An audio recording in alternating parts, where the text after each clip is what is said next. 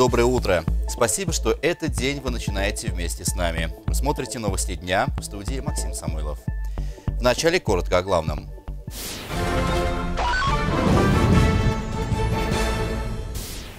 Рабочая поездка в Москву. Денис Паслер рассказал о ходе реализации нацпроектов в Оренбурге. Метель, дождь и туман. Очередные капризы погоды. Оренбуржцы утопают в лужах. Льет, как из ведра. Крыша не выдержала осадки. Подъезд затопило по щиколотку. Нашествие волков. Корреспонденты ОРТ выяснили, стоит ли опасаться оренбуржцам хищников. Рай для пешеходов. Многочисленные знаки действительно ли доставляют удобства? Теперь выяснит прокуратура. Четвероногий пассажир. Как Ротвейлер самостоятельно добирался на маршрутном автобусе. Глава региона Денис Паслер в Москве встретился с председателем Совета Федерации. Темой разговора стало исполнение национальных проектов. Для успешной работы в области есть все необходимое, подчеркнула Валентина Матвиенко. Освоение средств, выделенных федеральным центром на реализацию национальных проектов в Оренбургской области, составляет почти 100%, заявил губернатор. Речь идет о строительстве дорог, здравоохранении. Отдельно председатель Совета Федерации остановилась на поручениях президента, в частности, в сфере образования. Проекты включили, но их абсолютно точно не хватает. Ну, порядка 15 школ еще не хватает для того, чтобы решить вторую смену. Поэтому, если говорить, надо ли корректировать, то, конечно же, надо. Но это вопрос не в соглашениях, наверное, в данном случае. Чтобы выполнить все национальные проекты, область должна задействовать местные ресурсы, заявил Валентина Матвиенко. Необходимо активизировать региональные программы. Те регионы, которые не в форме, нет проектов, нет там и так далее, они останутся в аутсайдерах. А вы, если вы уже к этому подготовились, надо постараться максимум получить финансирование на регион. В 2020 году на реализацию 11 национальных проектов в Оренбуржье будет направлено более 17 миллиардов рублей. Это почти на 4 миллиарда больше, чем в 2019. В этом году планируется построить 25 ФАПов, отремонтировать около 200 километров автомобильных дорог, а также значительно увеличены объемы государственной поддержки в агропромышленном комплексе региона. Это не единственная встреча, которая прошла в столице накануне. Также Денис Паслер встретился с генеральным директором Росгеологии. Одним из важнейших вопросов разговора стала возможная оценка состояния и влияния действующих водозаборов на поверхностный сток крупных рек Оренбуржья. Это касается Урала и Сакмары. Также стало известно, что в феврале планируется подписание соглашения о взаимодействии между правительством области и Росгеологией. А сейчас к другим темам. В этом году погода бьет все рекорды по своей непредсказуемости. Из-за метели накануне вечером и ночью несколько раз перекрывали особо опасные участки трасс в области. Также снегопад накануне внес коррективы и в работу авиаперевозок. В московском аэропорту Шереметьево из-за метели отложены были два вечерних рейса в Оренбург. Однако в региональном МЧС вновь предупреждают в ближайшие сутки о тумане. Видимость будет составлять 500 метров и менее. И такое опасное явление будет наблюдаться в большинстве районов области. Ветер усилится, ожидается мокрый снег и гололед.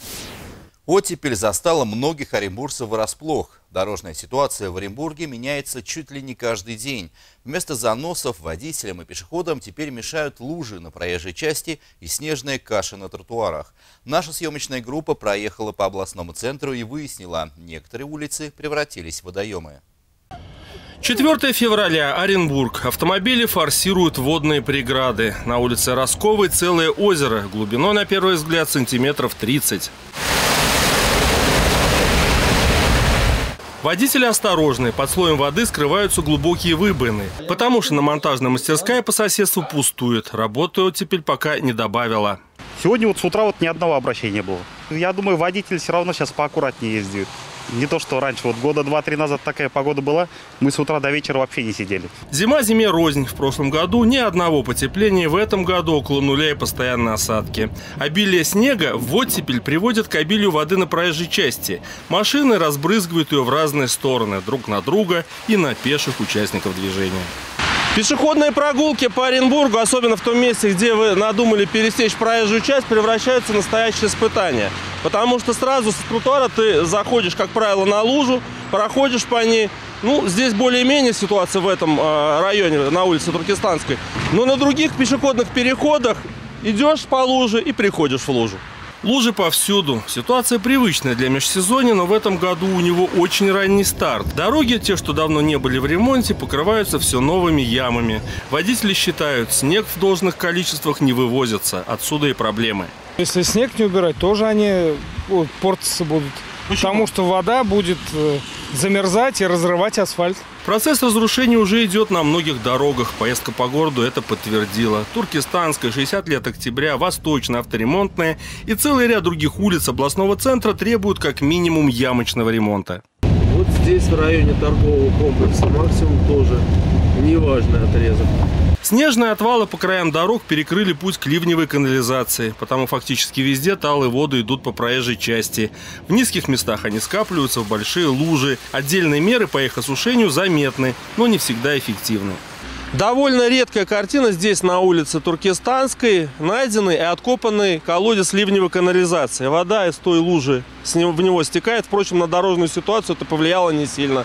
Брызги летят во все стороны. По данным администрации Оренбурга, работы по очистке стоков ливневой канализации сегодня проводятся силами семи коммунальных бригад на весь город. Виталий Дерябин, Георгий Бурлуцкий. Новости дня. А вот жители многоквартирного дома, что по улице Салмышская в областном центре, последствия дождя ощутили на себе. Крыша дома оказалась не готова принять такое количество осадков. Вода добралась до первого этажа. Масштаб бедствия оценила наша съемочная группа.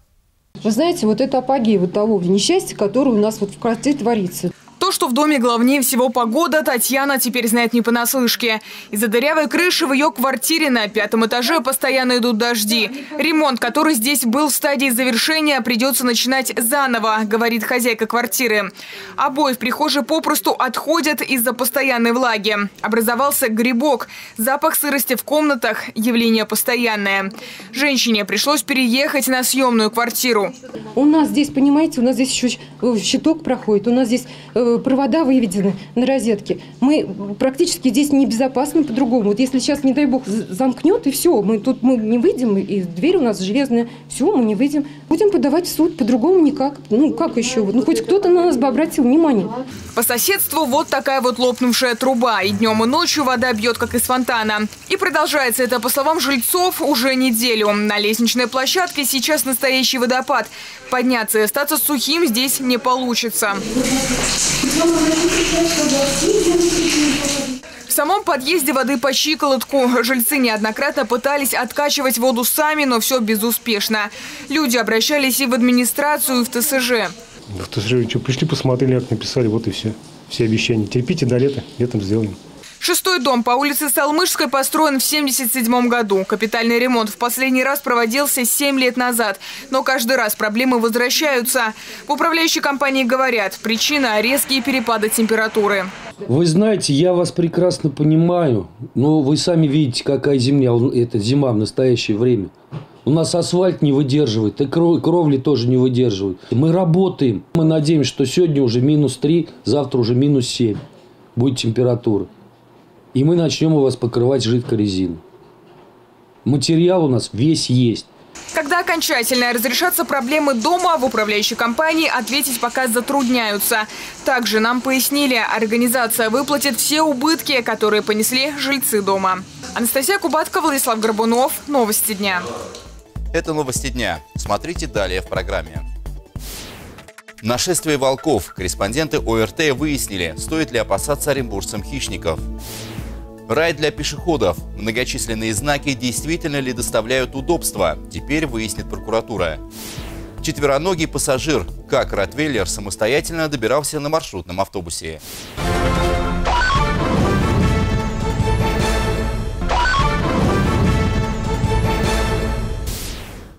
С 1 июля этого года во всех частных и многоквартирных домах России начнут менять приборы учета. Об этом сообщает РБК в домах появятся так называемые умные счетчики.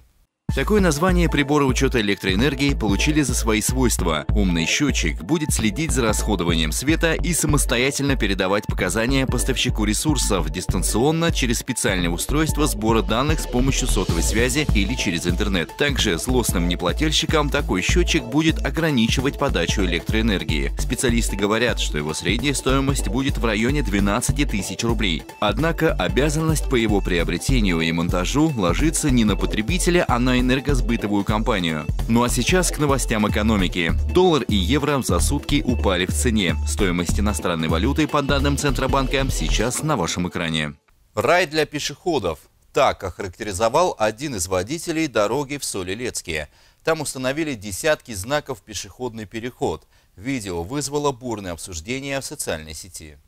Так сейчас выглядят большинство улиц, отремонтировали которые в прошлом году. Знаки на каждом перекрестке, как на пересечении крупных улиц, так и в местах примыкания небольших переулков.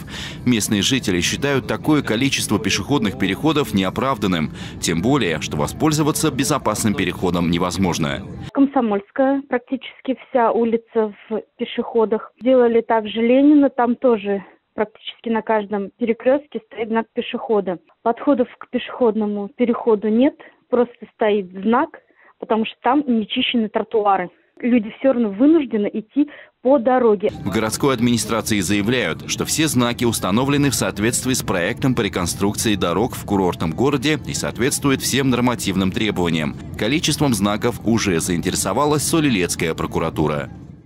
И в продолжении темы. Более 2000 ДТП за 2019 год. В ГИБДД области озвучили статистику происшествий на дорогах Оренбуржья. По данным госавтоинспекции, 256 человек погибли в результате различных столкновений. Около 2700 получили травмы. Снизилось ли число аварий и какие меры будут приниматься в следующем году для предотвращения автокатастроф, выясняла моя коллега Анастасия Синченкова. Ноябрь 2019 года. На 15-м километре трассы Оренбург-Акбулак происходит лобовое столкновение. Минивэн на полной скорости таранит фуру. В результате ДТП сразу шесть человек погибают на месте. Среди них и шестилетний ребенок. Это одна из самых серьезных автокатастроф, которые произошли в регионе в минувшем году. Сотрудники ГИБДД констатируют, всего на дорогах области погибло свыше 250 человек. Общее количество ДТП в регионе снизилось. Об этом говорит статистика. Согласно официальным данным, число аварий снизилось на 6,5%, а раненых в них людей на 4%. Уменьшилось и число погибших на 6 лишним процентов. Это 17 человек. Зафиксирована и печальная статистика. Больше стало аварий на автодорогах области и трассах федерального значения. Для их предупреждения в 2020-м на дорогах региона появится порядка 150 новых комплексов фиксации нарушений. Особую обеспокоенность вызывают междугородние магистрали, там, где нет стационарных комплексов. Речь идет, например, о Солилецком направлении. Передислоцированы туда переносные комплексы, порядка 6-7 комплексов. Вот на эти 60 километров ставим. Люди же все практически сейчас с радар-детекторами ездят, особенно на дальнее расстояние. Он же сигналит, камера стоит, водители предупреждают. То есть превентивные способы предупреждения опасного поведения в виде обгона там, где бы это нельзя делать бы, по большому счету. Потому что вернуться в свою полосу не успеешь. Они, вот, камеры делают свое дело. Выезд на встречную полосу и превышение скорости. Именно это, по словам сотрудников госавтоинспекции, зачастую провоцирует серьезные ДТП на автомагистралях. К печальным последствиям приводит и несоблюдение необходимых требований. 13 детей, получивших травмы во время аварии, перевозились без удерживающих устройств. Серьезные увечья на дорогах получили и пешеходы. За прошлый год в регионе таких зафиксировано порядка 500. В связи с тенденцией в 2020 году на особом контроле ГИБДД переезд переходов, перевозка несовершеннолетних и пресечение нарушений, связанных связанных с выездом на встречную полосу. Стасия Синченкова, Георгий Бурлуцкий, Владислав Горбунов. Новости дня. На восток Оренбуржья движется стая степных волков. Пугающие сообщения о приближении голодных хищников появились в соцсетях. Говорилось, что животные якобы идут со стороны Казахстана. В Минприроды поспешили успокоить оренбуржцев. Такая массовая миграция волков просто невозможна. Массовую рассылку жители Орска и Новотроицка стали получать на минувших выходных. Якобы животных местные жители заметили на улице Добровольского в Орске, а также на окраинах Новотроицка. Чуть позже несколько пользователей соцсетей выложили информацию о том, что им пришло СМС от единой диспетчерской службы с предупреждением об опасности. Большинство сообщений подкреплялось любительским видео. Однако по кадрам понять, что за местность, невозможно. Сегодня в Министерстве природы поспешили успокоить. Такая ситуация в нашем регионе невозможна. Такими стаями вообще миграция невозможна, так как у животных уже сформированная территория питания, которую они очень редко покидают. Возможно, единичные случаи миграции, но в том случае, допустим, если особь э, изгнана из стаи или же там все у каких-то обстоятельств, ей приходится покинуть стаю. Однозначно это не наш регион. Как выясняется, такое видео уже на протяжении длительного времени находится в интернете. Похожие сообщения получали жители Кемерово, Новосибирска, Омска и некоторых городов Татарстана. Сегодня во всем мире отмечается День хорошего настроения. Известно, что его можно и даже необходимо создавать себе самостоятельно. Сделать это очень легко с помощью простых вещей. Спонтанные встречи с друзьями, заказа вкусной еды или, допустим, шопинга. А что поднимает настроение оренбуржцам, узнали мои коллеги. Интересные ответы смотрите далее. Меня делает счастливым то, что я жив, здоров и все мои близкие тоже. Вот, ребенок, семья моя. Если здоровые, дети нормально. Семья, дети, все. Что может быть еще? Наверное, ничего на данный момент, кроме работы и семьи. Чтобы все здоров... вся семья была здорова. Теперь к традиционной рубрике «Попали в сеть». Главным героем сегодня становится четвероногий друг человека. Собака уверенно разъезжает на маршрутках областного центра, а видео с ее поездками набирает тысячи просмотров в интернете.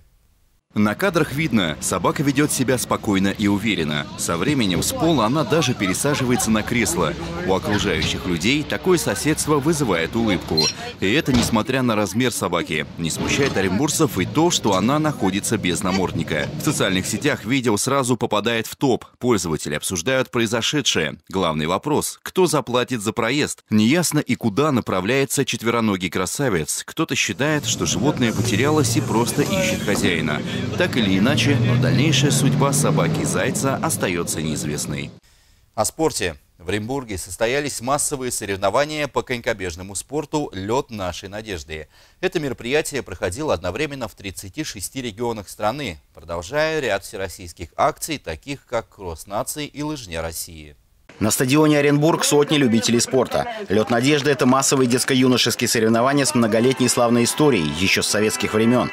Многие звезды конькобежного спорта начинали свою карьеру именно с выступления в подобных турнирах. По сей день одной из задач соревнований является поиск юных талантов. Денек сегодня очень хороший. Даже то, что нет солнца, но погода теплая, безветренная. Я думаю, что скорость на коньках будет очень высокая. В том году, я насколько знаю, ну была холодная погода. Было где-то 250-300, а в этот раз уже 500 зарегистрировалось. Мода на физкультуру, спорт и в целом активный образ жизни не обходит стороной наш регион. Занимаясь различными видами спорта, оренбуржцы охотно идут и на каток. Большой популярностью пользуется вечер на коньках, с каждым годом становясь все более массовым. На стадионе Оренбург, где работает прокат коньков, по прошлому году в среднем ежедневный охват 1000-1200 человек. Сейчас эта цифра в два раза больше – 200-2300. В этом году мы провели восьмой э, вечер на коньках, приняли участие порядка 15 тысяч человек. А, около 40 хоккейных кортов были готовы к принятию всех желающих. И данное место, стадион Оренбург, это одно из излюбленных мест горожан. Участники соревнований «Лед надежды» разделены на семь групп. Школьники, студенты, работники предприятий и организаций, а также ветераны спорта. Школьники младших классов бегут 50 метров. Для всех остальных – 100-метровая дистанция. В любой из возрастных категорий разыгрывается по два комплекта наград. Но здесь каждый, кто выходит на старт, уже победитель. Анатолий Юденич, Владислав Горбунов. Новости дня. На этом все. Напоминаю, следить за новостями можно на нашем сайте media56.ru, а также в наших группах в социальных сетях. Спасибо, что были с нами. До свидания.